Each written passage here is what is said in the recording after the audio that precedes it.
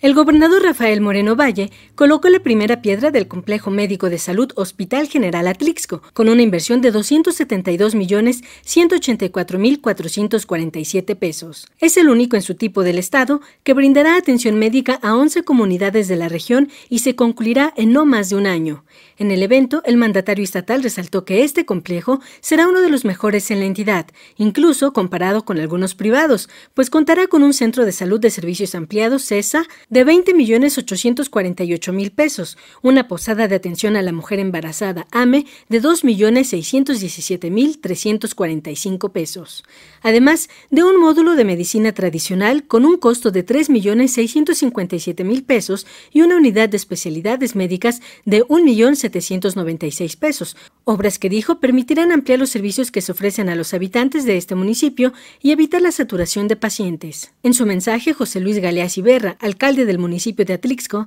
enfatizó que la salud es un tema que debe atenderse por parte de las autoridades con responsabilidad. Por ello, agradeció al mandatario estatal que en tiempo récord consiga la edificación de obras que permiten ampliar la cobertura de servicios en este rubro. De la misma manera, el Ejecutivo local arrancó la modernización y ampliación del camino San Pedro Benito Juárez San Juan Ocotepec de 18 millones 760 mil 638 pesos en beneficio de 5.596 personas, que subrayó facilitar a la movilidad de los habitantes, que en suma con los demás proyectos muestran la coordinación entre los niveles de gobierno. En acciones al fortalecimiento al campo, Moreno Valle entregó 771.95 toneladas de fertilizante, con una inversión de 3.560.000 pesos, y 4.6 toneladas de semilla de sorgo, con una inversión de 540.000 pesos en beneficio de productores de 11 municipios de la región de Atlixco. Además, brindó un vehículo recolector de residuos sólidos con una inversión de 487 mil pesos y un equipo hidroneumático de alta presión para limpieza y desasolve